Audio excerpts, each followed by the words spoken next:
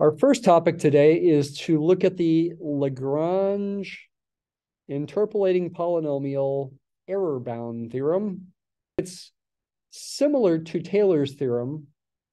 Remember, Taylor's theorem is about using Taylor polynomials to approximate functions, and you've got a remainder term, term that is the error, and you want to bound the error based on the form of the error.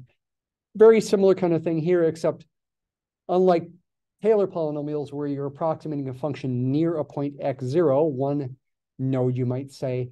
Now the setup, and I'm not going to write out the theorem in words, but the setup is that you've got n plus one nodes labeled x0, x1, x2 through xn. And typically what happens, well, you've got n function values. F is a nice function. In fact, it's in Cn plus 1 of some interval from A to B. So what does that mean? n plus 1 times continuously differentiable, meaning n plus 1 derivatives exist and are all continuous functions on this interval. That's a that's the minimum niceness you need in the function for this all this theorem to work. You got this n plus 1 nodes. You would know that typically you would need a degree n polynomial to fit the data points, to fit the function values at these n plus one nodes. These are distinct nodes. No repeats there. Just like when you've got two points, it's going to uniquely determine a line, a linear function, degree one polynomial. When you've got three points that are not all on the same line, it's going to determine a unique quadratic. If they were on the same line, it determines a unique line still. Typically, it's going to be degree two for three points, though once in a while it might be degree one or even degree zero if they're on the, they're on the same horizontal line. In general, yes, you got n plus one nodes leading to n plus one points on the graph of this function. You're going to need a degree n typically polynomial to interpolate these points. Could be lower degree, but typically it will be degree n. The theorem essentially says that in this kind of setup, there exists our favorite Greek letter c, a number that depends on x, whatever x you happen to pick in the interval. So we are supposing x is in the interval. Suppose x is some number in the interval from A to B. There's going to be some unknown quantity, C of X, between, well, are these X's in order? Well, typically they would be, but in general, they don't actually have to be. I said that the other day. So it's between the smallest of those, the minimum of those, and the maximum of those, again, typically they would be in order. So typically the minimum would be x0 and the maximum would be xn, such that the function you're trying to approximate at x is the Lagrange interpolating polynomial. I'll just call that p of x. There's the Lagrange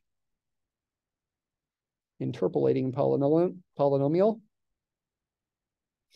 plus a remainder term. I could call it R of X, but let's just go ahead and write down the formula for R of X right away. It's the n plus first derivative of F evaluated at this unknown quantity, C of X, divided by n plus 1 factorial. So far looks the same as Taylor's theorem, doesn't it? But instead of multiplying by x minus x0 to the n plus 1 power, we multiply by x minus x0 times x minus x1 times x minus x2, etc. There are going to be n plus 1 factors. The last factor is x minus xn. So this is the setup, not really stated in a theorem form because I didn't feel like writing sentences. But basically, this is the theorem. In this kind of context, again, when f is sufficiently nice, Sufficiently nice means n plus one continuous derivatives. They, there could be more continuous der derivatives. You know, most functions we deal with from calculus, e to the x, sine of x, cosine of x. Most of them are infinitely differentiable on whatever interval they're defined. So you could maybe even put an infinity there instead of an n plus one, but this is all you need, and this is going to be true. So what's the application of this? The application is we can know based on a given n, and if we can analyze the derivative there, uh, how big the error can be in absolute value. Let's look at the example from Tuesday's class and see if we can figure out what this error bound theorem would imply. So here we have, again, the situation from Tuesday is that f of x was 1 over x. Our nodes were these. The zeroth node, x0 is 1. The first node, which is really the second, x1 is 2. And the second node, which is really the third, x2 is 4. And the function values were 1, 1 half, and 1 fourth. As data points, here they are in a list. So these would be the points that we are trying to get a quadratic interpolation of. I didn't show you this before, but Mathematica has got a built-in command called interpolating polynomial that takes as input those data points and the variable name and gives you output the interpolating polynomial, although that's in kind of a strange form, isn't it? That's in nested form. We did talk about nested form. I forgot if it was before spring break or after. I think it was after last week was nested form when we were talking about polynomials. Uh, but of course, we can expand that and see that we got the same answer that we did on Tuesday. This polynomial right there, x squared over 8 minus 7 eighths x plus 7 fourths. Plot them. There they are. There's the uh, graph itself of 1 over x is in red, and the interpolating quadratics is in blue. If we want to plot the data points along with that, we could show this plot with a, say, a list plot of the data points. List plot, data points. They're not very dark there, so I'll make them darker plot style and make them bigger too. Black, point size, say 0.03. There they are. Three big data points. Both graphs go through. Okay. So again, this is the main kind of interpolation we focus on using polynomials to interpolate known functions like 1 over x, e to the x, sine of x, natural log of x, exactly at the data points and hopefully pretty good approximately when we're not at the data points other kinds of interpolation include bond price interpolation, where we really don't know the underlying function because it's sort of based on whatever accounting rules you want to use or whatever the market's doing. And also statistical interpolation.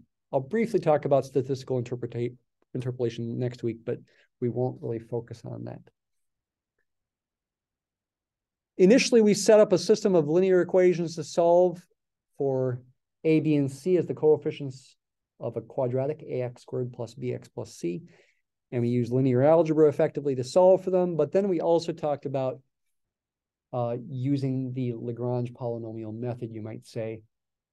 And so I hope you remember that for today when we get back to talking about Neville's method. That'll be useful for us.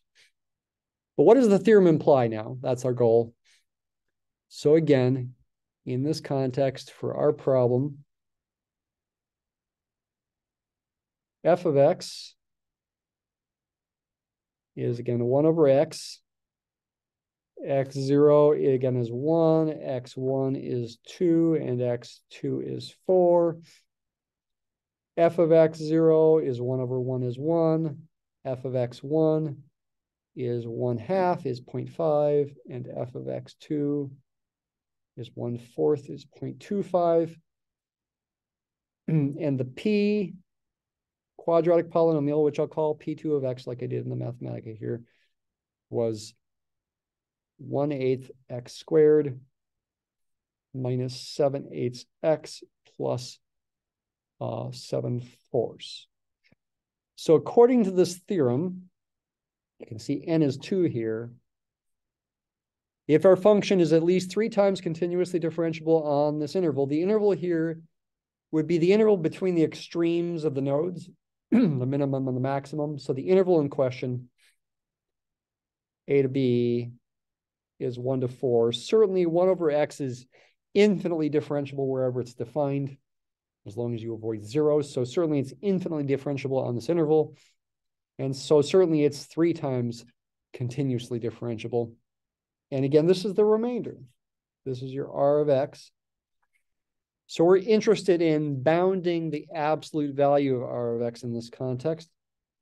Let's figure out what r of x is. I will need, since n is 2, I will need the third derivative. Uh, remind ourselves of the derivatives. So the original function is x to the negative 1. f prime is negative x to the negative 2. f double prime is 2x to the negative 3. And f triple prime is negative 6x to the negative 4. So the R of X, and I guess I guess I'll go ahead and use absolute value signs right away here. The absolute value of R of X, the absolute error, according to the theorem, F triple prime of C of X. We don't know what C of X is. That's okay. Just plug it in there. Divide by n is 2, so we get an n plus 1 is 3 factorial, which is 6. And then times x minus x0 is 1, times x minus x1 is 2, times x minus x2 is 4. So essentially now we want to maximize this absolute value on the interval from 1 to 4. Maximize on the interval from one to four, technically everything is going to be positive, so I could really get rid of these absolute value signs as long as I get rid of that negative sign. 3 factorial 6, so the 6's cancel. This does simplify to this. The absolute value signs can be gotten rid of. Uh, wait a minute. Actually, no, they can't. Because not everything's positive, sorry.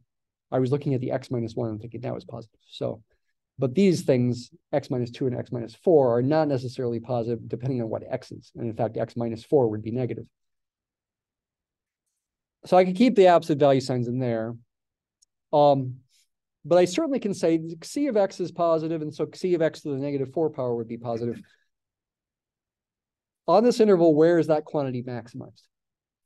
Well, it's to the negative four power, so it's going to be maximized when x, c of x is small as small as possible. c of x is going to be between one and four, but because it has to be bigger than or equal to four, this has to be less than or bigger than or equal to one. This has to be less than or equal to one to the negative four. If this interval were, say, two to four, instead of one to four, this would be less than or equal to two to the negative four. That's as big as it can possibly be. And so even though we don't know what C of X is, we can still say that. And of course, one to the negative four is one, so I don't need to write that. And what's left then is really to, to maximize the absolute value of this cubic here, um, which you can do by first finding global max and global min for the cubic itself without the absolute value signs.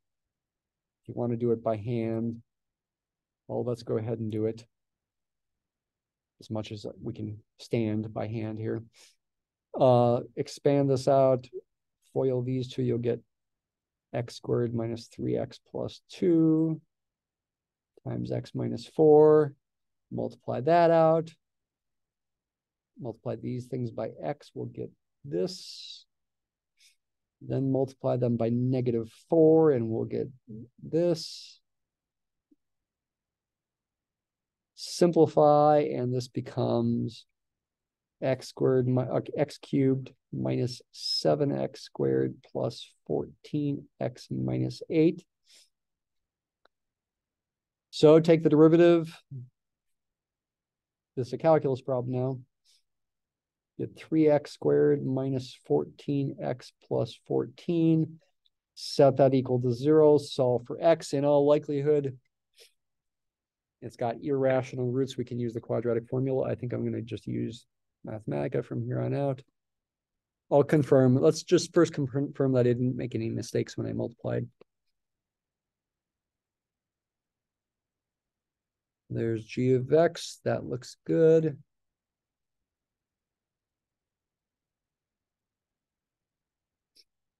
What is g prime? It is that. Solve for where g prime of x equals zero. Yes, they are irrational numbers. So let's just do an n solve and get approximations. Those are the two critical points of G, and they are both in the interval, interval from 1 to 4. and if you remember from the extreme value theorem, to find the global max and min of the function on the interval, evaluate the function at the endpoints and the critical points. see which one gives you the biggest value and which one gives you the smallest value. I'm putting decimal points in for one and four to get numerical approximations.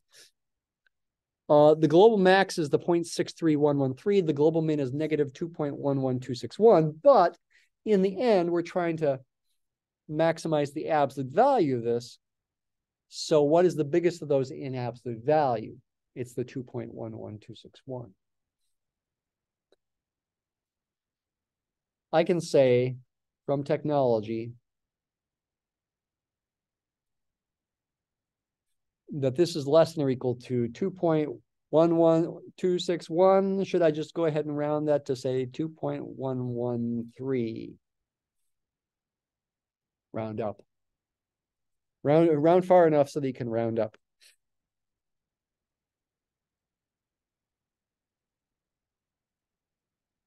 So it's not the uh, the greatest upper bound on the absolute error here. Um, you would hope that you could have gotten a smaller answer. In fact, I'm wondering why we didn't.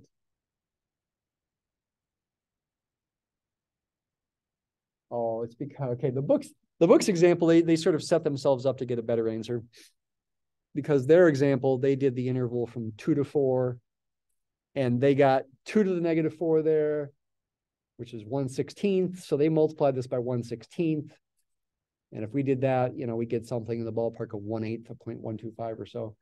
And so that led to their answer being better, you might say, than ours. Certainly, our error bound is not so great. It'd be nice to get something smaller, but with a different answer, with a different example, we certainly get something smaller. Okay. Can I clarify anything there? Hope I didn't make a mistake. I'll double check it after class to see if I didn't make a mistake or not. Any, any questions? Okay, examples do help, right? This, you do this abstract reading, it's like, oh, nasty. And the, the proof of this Lagrange error bound theorem is really nasty. It I did read it. It is actually understandable if you spend enough time with it, but it takes a while, and it's like, how could I have ever thought of that in the first place? Not likely. I know I probably couldn't have thought of it. I wonder if Lagrange thought of it, if, if somebody after Lagrange who thought of the proof. That's a pretty hard proof.